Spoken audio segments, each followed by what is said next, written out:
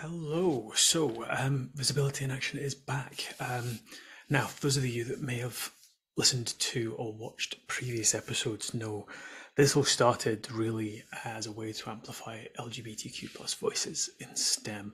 Um, back in 2020, you know, when you know diversity and inclusion was was really at the fore uh, of conversations across lots of businesses and and you know outside businesses as well.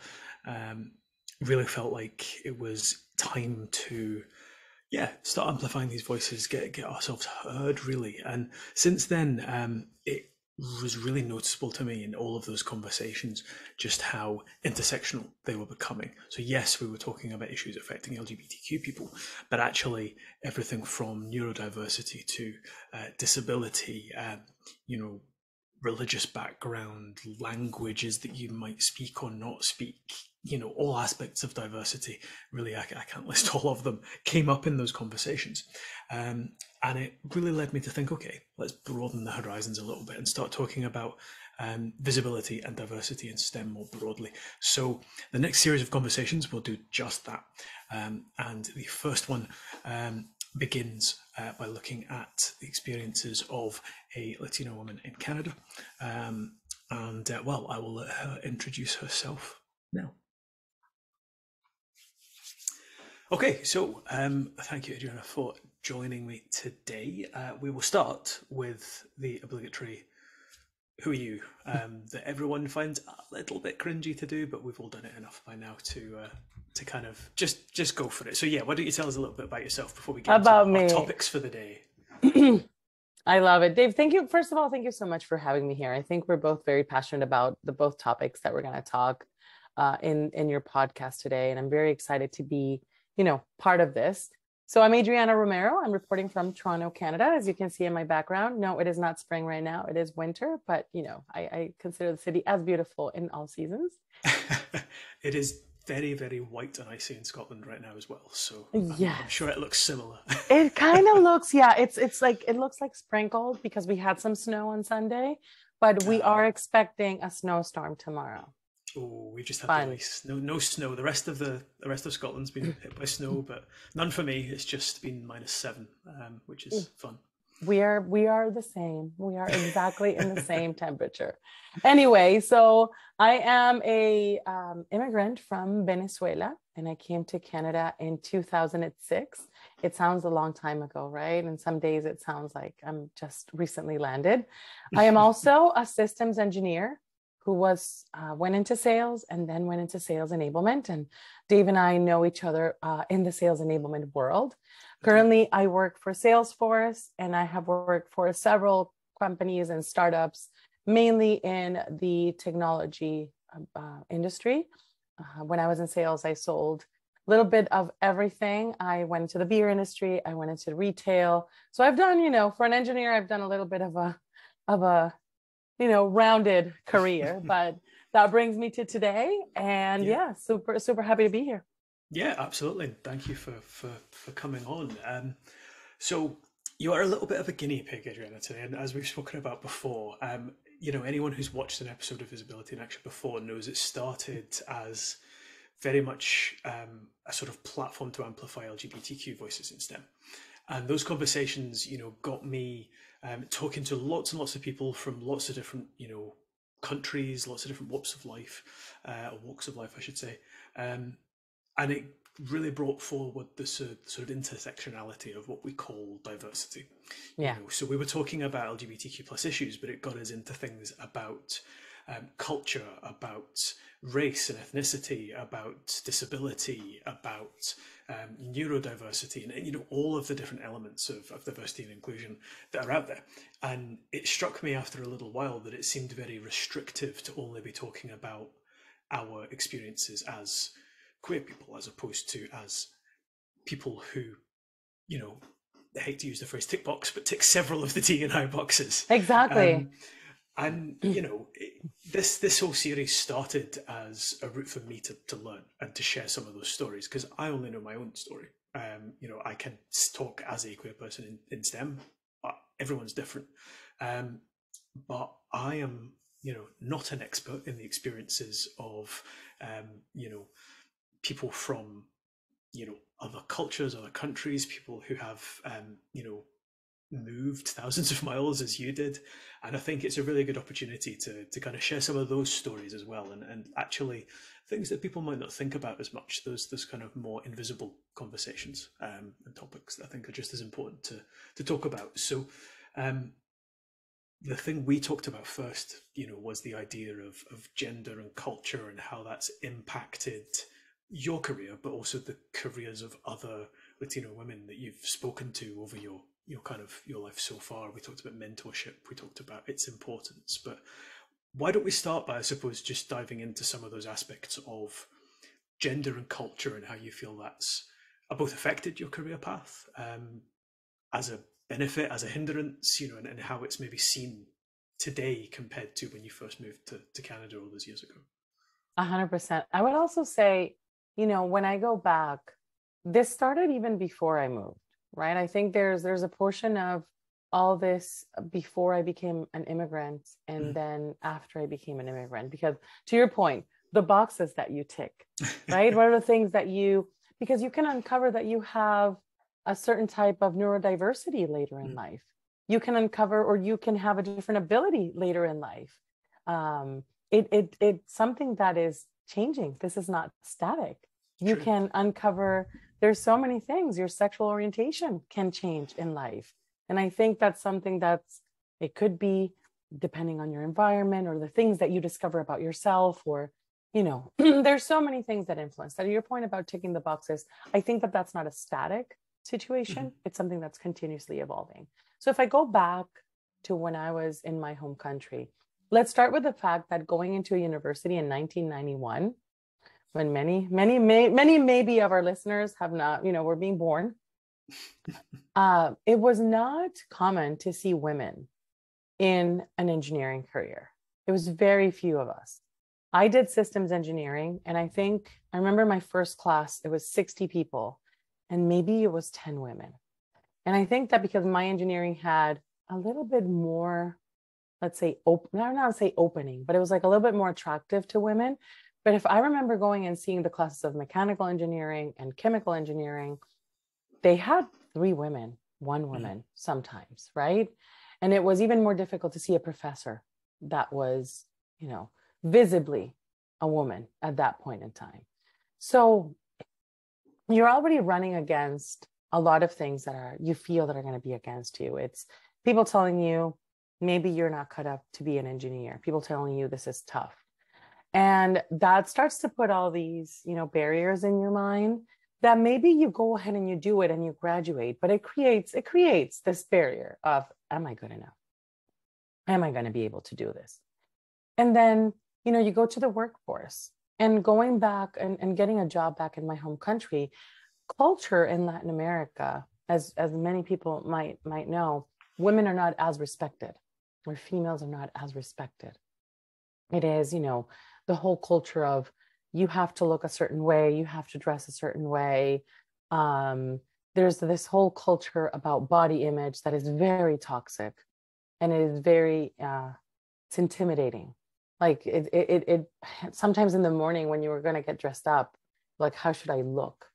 Like how how should i not send the wrong message? Because there was always a wrong message. Like i'm I'm coming from a culture where I, before I came, I remember going like being in companies where resumes came with a picture and people would actually categorize, um, you know, people that were that were applying for the job based on the picture, which is the thing that we do not do. Mm-hmm. So it, it, it was a very, very um, maybe toxic environment to be in. So then I move and I come to Canada where there's a very big opportunity to be who you are. Because one thing about Canadian culture is that you can embrace Canadian culture, but you ha- don't have to lose who you are. And that means who you are from your culture perspective. There's many things from my culture that I love and I and I miss and I bring, but you also, you know, you embrace other cultures, you learn about other cultures and you're here. So it was different challenges. It was the challenge of how do I prove myself in this new environment that I don't know anybody, that I don't have a network? How do I tell them that, yes, I have you know, by the point I moved in into Canada, I think I had like 10 years of experience in my career, maybe eight to 10. Like, how do I tell them that this is all true? Like, I don't have mm-hmm. anybody here to vouch for me. And then it's also the challenge of, you know, the the females in STEM. And and when I say female, it's the visibly, you know, a female person who, because of the way they look, some people don't believe they belong in a certain field. And mm-hmm. I think that has improved from when I studied, like especially when you see a lot of people that are, you know, you see the images. I see the images of Latinas in NASA, and I'm like, yes, this is the role model I need for my daughter. Not that I want her to be in NASA, but I want her to know that everything is possible. So you you come with that challenge of you're the newcomer. You are the person who needs to prove it. And as a and as a female, you need to prove it like more. Like there's a double. There's a thing that you have to prove it a little bit more because of, the, of what everybody knows of the workplace and you know how the comparison and especially in technology companies let's face it. Mm-hmm. yep. I am very lucky to be in a place that was a pioneer on level setting the the field between pay of women and men but out there in the in the outside in the industry there's still discrepancies and there are studies about how Latina women are even paid less than a white woman or mm-hmm. so there was a lot of disadvantages that I came in here with. And you had to start kind of like making yourself, you know, get into it. But then the other issue that many people don't talk about as much is you are in childbearing years. And that also sets up an alarm for companies that are hiring you, people that are working with you, because what's going to happen when she, if she wants to become pregnant? right? What happens if she decides to have a kid? Especially nowadays that people are having kids a little bit later in life. You know, they're waiting to their mm-hmm. late 30s. Mid I waited till my late 30s. But there's always that kind of big question mark on top of you of, oh, this one will become pregnant. And I remember having that feeling of being asked those questions in interviews. Like, are you thinking about planning a family? And I'm like, I don't know what to answer. Yeah. because if I say yes, which was what I wanted to do, will that hinder my opportunity here? Mm-hmm. Which it's, not fair. completely. And that's a really interesting topic to raise because honestly, it's something I know so little about. You know, it's what are those questions that you fear is maybe skirted around? You know, yes. in the past, like you say, you, you were upfront asked the question, which as wrong as that is, at least it was transparent where now I do worry sometimes if, I, if I'm you know speaking to hiring managers, we're looking at hiring processes. Those questions are in their head. Yes. And you, as a, a woman being interviewed, might be able to read that behind the you know between the lines. Yes. But no one's actually outright at having that conversation. Probably because it's not relevant to a job interview. But at the same time, those thoughts are still in people's minds. Yes. You know, if you're interviewing a woman of a certain age, people do still think like that. Whereas if I were to go and interview for no one would ask me that question. And, and you know, and explicitly you know or otherwise. Exactly, Dave. But also, let's think about it the other way. Why can't people think if you want to plan a family? Mm-hmm. Right? It, I mean, you're not going to be the the the the individual getting pregnant, but what about if you want to adopt? How about if yeah. you have a plans of with your partner getting a surrogate like that is being i mean i think that becoming a family means different things to different people mm-hmm. in in you know in in the world that that we are today and it has to be respected because i think that this is why companies come with plans of paternity leave mm-hmm. and maternity leave and all these leaves yeah. to ensure that people have times with their families but then there's that double standard when you're being interviewed of if i say i'm planning this wow, maybe this is not going to be so good and they're not going to hire me. And they're going to come with an excuse of the other candidate had more experience than you that we mm-hmm. all know, you know, yes, that is an excuse. So I don't know what the solution is for this. If we should all be like very real and say, look, I'm just asking you so we can plan. So if you're mm-hmm. planning and, you know, adopting a kid, having a family, whatever, we can plan resources, you know, as this mm-hmm. project mm-hmm. goes. And we know I would like to have that upfront conversation. Like if I go back 10 years or 15 years and I'm being interviewed and somebody says, We're just planning because we're a team. So we know that when you're out, we got you covered. I want that frank conversation because that doesn't make think, me feel feared. yeah, I, I, can I can see why that that would make such a difference. I mean, do you think mm-hmm. that may almost naturally change as hopefully we get to a point of more gender equity at leadership level? I hope so. You know, is is that the natural progression? You know, you don't necessarily have to kind of force changes like that through because they are a byproduct of making leadership more equal to begin with. A hundred percent, and also making leadership having these upfront conversations, even with candidates or with people. Mm-hmm. You know, I remember one of the of the companies that I interviewed for once was a very young company. People were not thinking about families; they were thinking about making money and partying. And I remember being at that stage of my life. But I remember my hiring manager was a father.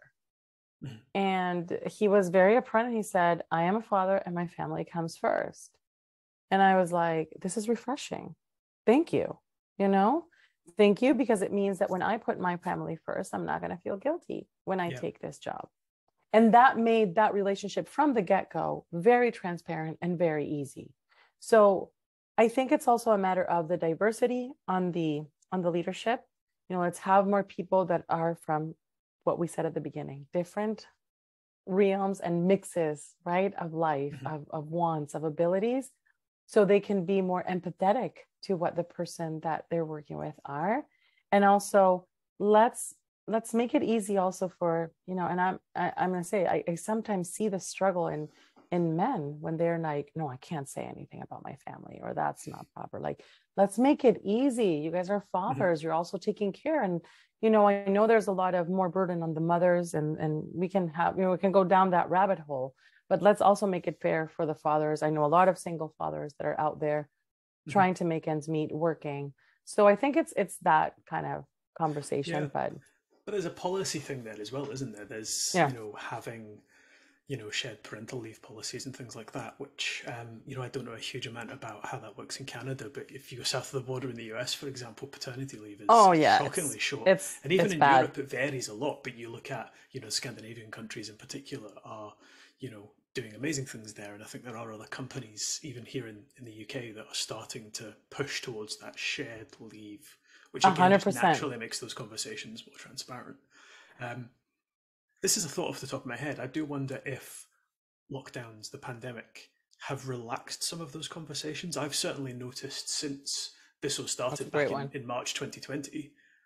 You know, it all started with everyone still going into the meeting, you know, clearly suited, at least yes. in the top half, um, having these very formal conversations. But gradually over time, and particularly now, everyone is more relaxed. You see people's kids in the background where you're having a business conversation with them, not just with other people from your company, but from people you're you're talking to that you're selling to that are selling to you. You know, has that relaxed those conversations? Oh, yes. People interviewing at those stages now are more used to family and work blending and you know being less separate.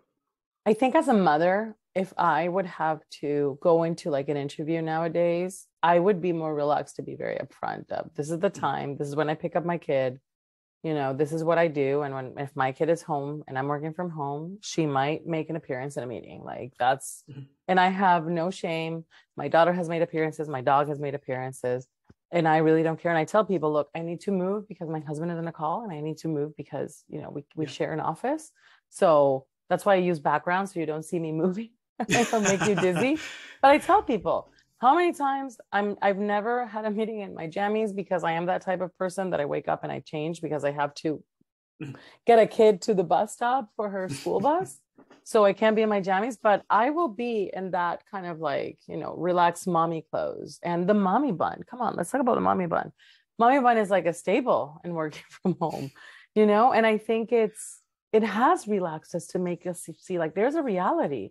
Like we're busy our kids get sick uh, we have mm-hmm. families we might have uh, people we're caring for and as our family yeah. members that are not your kids. It might be your aunt your uncle your parents.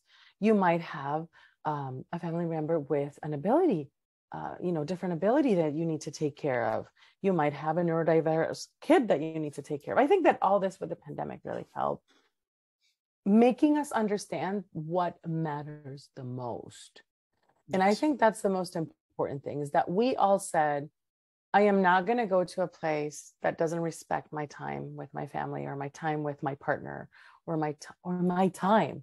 Like I think mm-hmm. it's also a fact of let's let's step back and say there's so many different ways of an individual in their life. We have to respect the people who are single too. Just because you are you don't have a family doesn't mean no we're going to work you out until eight o'clock at night. No, you have yeah. hobbies. You know you have friends. You have things to do that is not only work. And I think that it's not only the system is that also us as individuals we have become much more respectful what it means because we were in a pandemic where we saw we could lose a lot we could lose families yes. we could lose friends and we saw wow i was missing out on this i remember thinking that mm, i was Completely. missing out on picking up my daughter from school or bringing her to school or walking to the bus i was missing that dave and for yeah. what so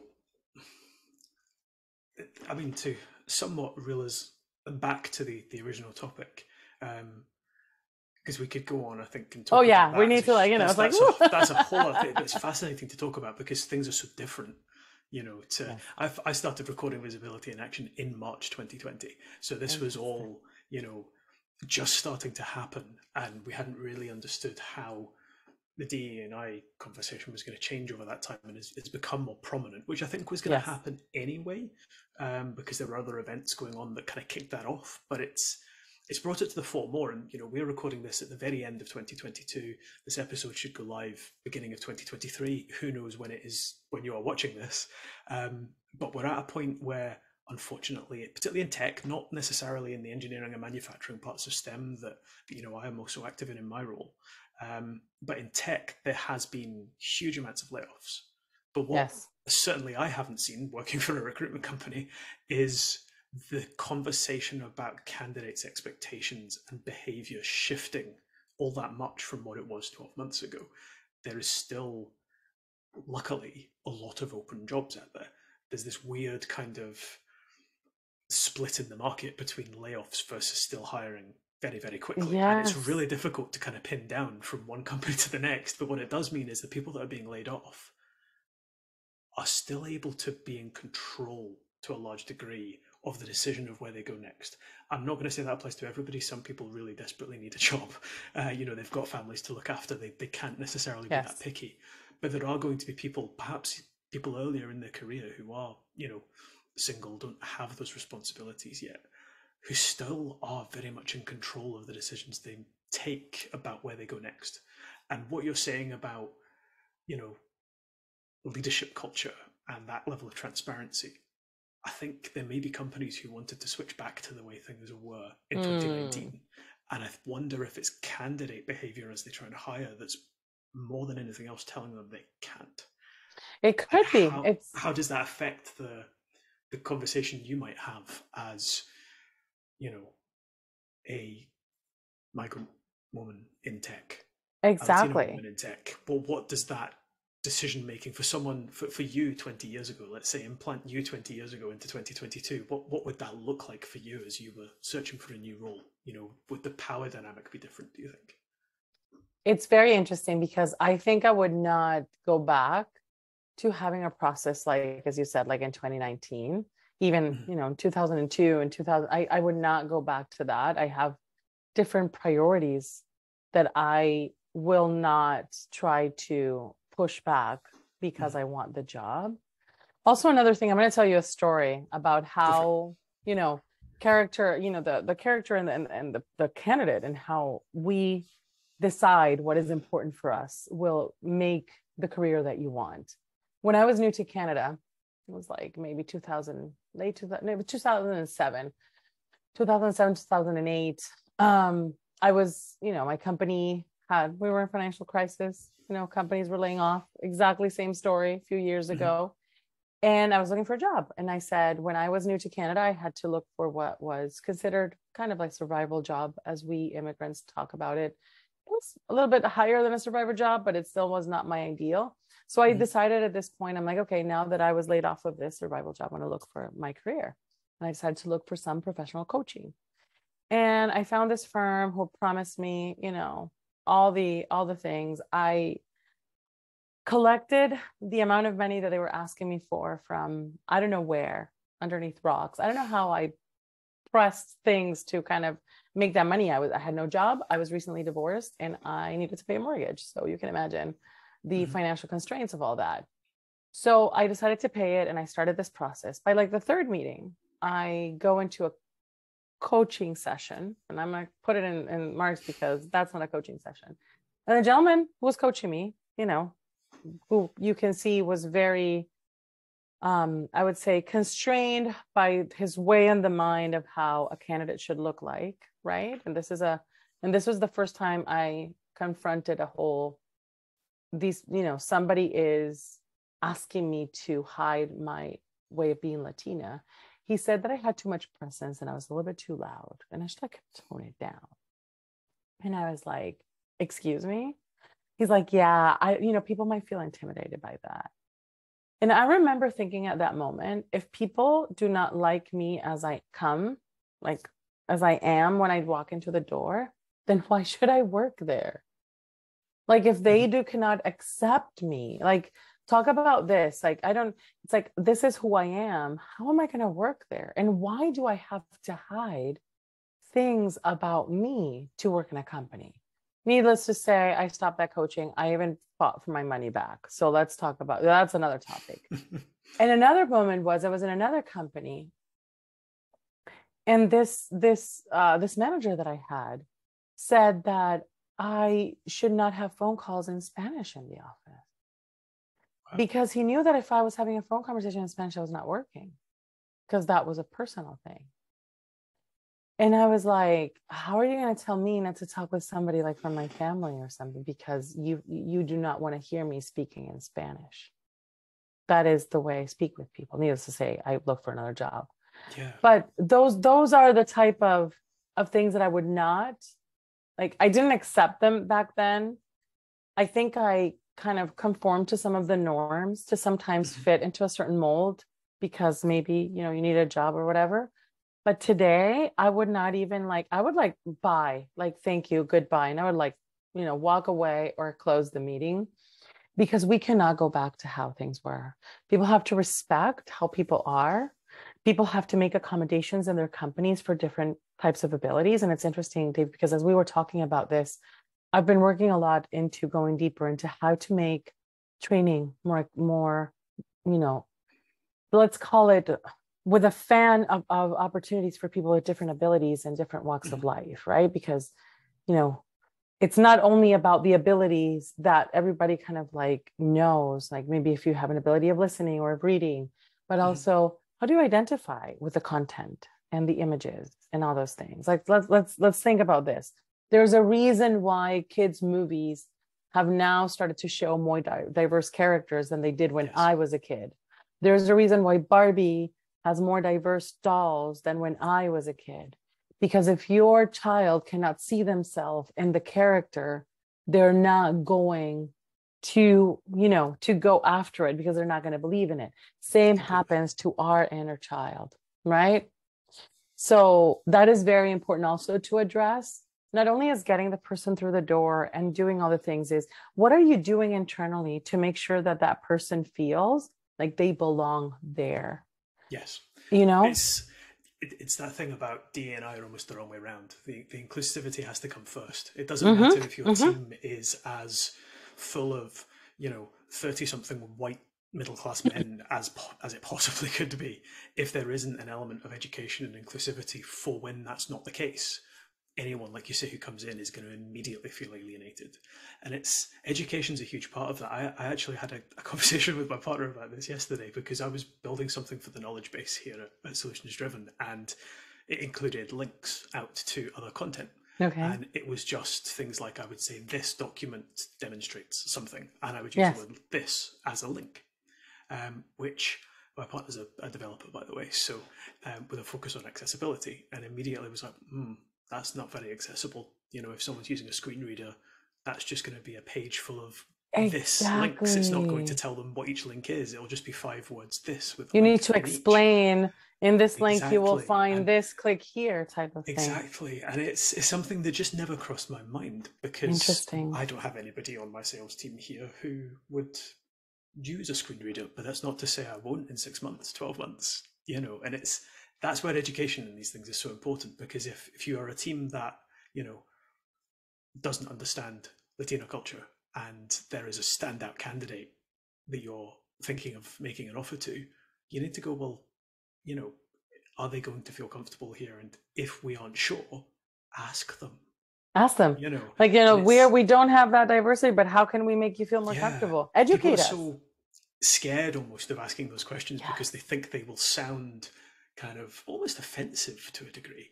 And you think, yeah. as I always say, at least from and if anyone asks me about being bi, if anyone asks me about being diabetic, as long as there isn't malice behind the question, it's I'm curiosity. Almost all, always open to talk about it. That's not to say people should have to put their own like trauma up front to, no. to teach other people, but you know, ask, ask questions. Ask, question, ask questions to know. And I, I always, when I ask those questions, I I preface it with, look, I do not know. So I'm asking you because I want to understand. I have, um, you know, I have members in my team who identified as non-binary. And I said, I'm very curious. You know, when you formally call somebody a Mr. or a Mrs., how should I call you? Mm-hmm. And I'm like, this is something I don't know. This person was like, they were very like, oh, that's a great question because nobody has asked me that. And I'm yeah. like, I just want to make sure that I don't make the mistake of putting a miss when it should be an, a mix right? And and mm. and and i want to ask people like when when people ask me it's interesting. I, I you you talk about this whole you know diversity. And as an example of education sometimes we also have to offer the education you know as a way of hey I, I appreciate this welcome here but how about if i do like a session to teach you all a little bit about my culture my you know my my why you know the the how i live as a you know mm-hmm. polyamorous person or how does this work? Like let me teach you about being a person with a disability. Like i think it's also important and i'm going to give you an example. My daughter's school as we are in canada we're very diverse so they teach in schools many things right? She has learned about every culture and every tradition in the world of different celebrations.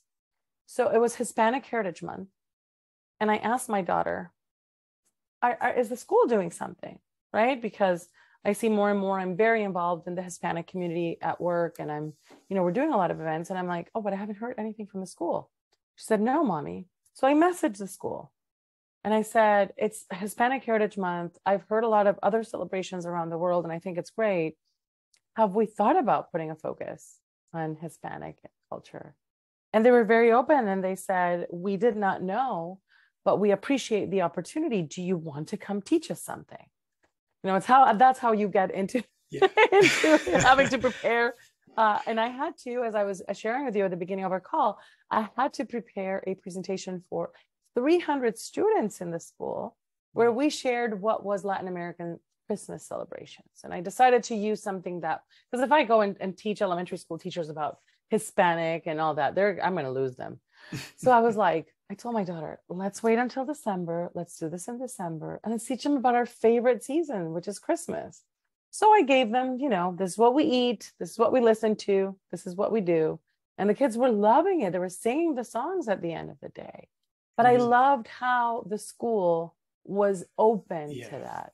Right. And that's that's the kind of and this this has come up in so many of these conversations as we, we kind of um, begin to run out of time here but i think this is a, an important point to end on because it's, it's come up in previous episodes where you know we've talked about somebody's reaction to something they don't understand often being that of a default fear or anger yes. or yes almost retaliation because it's seen as it's the idea of you know, if someone tells you something you've said could be deemed homophobic, could be deemed racist, they're not saying you are homophobic, you are racist. They're saying that one thing you said could be deemed that way. And yes. that school's response is is a brilliant kind of way of saying, you know, uh, uh, oh, I, I, didn't realize. Tell me why. Yeah, you know, it, and tell me more. Like, let's learn. Um, exactly, and it's being open to that rather than being instantly defensive, which I think. A hundred, and I think we come with a lot of biases because of you know i was i was raised by two baby boomers you know a generational thing in a latin american country with very biased ways of thinking. And and now i'm learning a lot of things. Like for example i'm going to give you like a one huge example that i saw the other day. My you, people might not believe this my grandfather was black. So it means i have a mixed race on my dad's side. My dad is visibly mixed race and he has, you know, very curly hair and his skin is a very, you know, very, you know, light brown color. But that is my father. And I have a very European descent mother. So that's, you know, the mixture that comes into me. When I was a kid, I remember my dad hating his hair because it, you know, it was all these things and all the connotations that my family would say, oh, your dad has bad hair. And my grandmother would say, you have to keep it short because it's bad. Bad hair. Like even in your own family, there was people bullying you because you had bad hair. And I remember my cousin who has curly hair, beautiful curly hair, and me who has very thin and you know, not not at all curly hair. They would say, like, oh, thank God, you know, I, I got the European side. And I'm like, your own family, Dave is telling you these things. And yeah. nowadays I think back and I'm like, why is that bad? Like, I love when I see everybody with their natural, you know, physical appearance shining out because we're all different. But I go back and I say, I was raised that way. So sometimes that bias speaks to you from the mm-hmm. back of your head. And, and you don't, and unconsciously you do this. So I think we also have to have a very conscious way of what are our biases that we grew up with is the only way to overcome them is to educate yourself is to ask is to be genuinely curious and and tell the other people you know what? I need to learn like i need to learn how to do this because i grew up thinking that this was another way. So i invite people as we're wrapping up the episode i invite people to ask the questions. I invite people to not be fear to not fear of a professional mother who is there sitting with you and has maybe three kids at home and who's you know doing a great job at work because they know that technical aspect or the sales aspect or that business aspect very well we're we're all here. We all can have lives and tastes and, and hobbies and we can all do a great job. So i invite the curiosity and the openness and and i would invite to leave to kind of like question when that fear comes to your mind of oh you know it's like okay what what what is this where is this coming from? Like yes. it's okay to have it. I tell my daughter it's okay to have the reaction. You're human. Just mm-hmm. ask yourself after the, the reaction what happened that's a really good point actually because sometimes that is a, a natural reaction to something that yes. immediately makes you uncomfortable. And yes. the act of feeling uncomfortable comes from those biases you talk about that might have been you know in your childhood things you learned things people said around you. They're not something that you necessarily believe consciously in control. 100%. it's how you then react to that feeling. If you know someone tells you something and you you know you've never met anyone who identifies as non-binary to use your previous example yes not to immediately be feared and disregard their existence um it's to yeah like you say go oh why, why am I thinking that? It's because I don't know anything about the topic. I don't know, which anything. isn't a bad thing what is a bad thing is not being open to then hear more and sometimes i have so many questions i'm like i'm so curious like how do you do this and and how does yeah. it feel and how how do you legally change your name and how is that battle like there's so many things that you can ask and and the help is going to come not because you can solve the problem for them but because you're being a person as they call an ally of listening and mm-hmm. and learning completely i yes. think it's also important to end on the note that you you can ask questions, you can be curious, you can be genuinely well meaning, but also not to expect those questions to always be returned with an answer. Because depending on the yeah. topic, it can be quite traumatic. You're asking people to bring up things that have been really hard for them, and that takes a lot of emotional labor as well. I, I completely agree with curious, you. But at the same time, don't expect someone to unleash their whole life story. Oh yeah, you. it's not their responsibility to teach you; it's your responsibility to be open to I agree. Completely agree. Great way, great way to to to end the episode, Dave. Thank you so much. I think we had a great conversation. I think we I think so. for like two there more hours. Lot, yeah, we could have. There was we didn't get really onto the the topic of mentorship, which I know is important to you. So perhaps that's a, a future conversation. We can Maybe have, I get invited again. Thing. Hopefully, we can we can have a return a return guest. But no, I thank you, thank to. you, Adriana. It's been brilliant to talk to you, and I think um, yeah, lots of really interesting insights there. So I really appreciate it. Thank you, Dave. Thank you. And you know, I think this, you know, happy happy 2023, everybody, because this is when this is going to air. So I hope it's uh, yeah. it's a good year. It's come out of nowhere, hasn't it?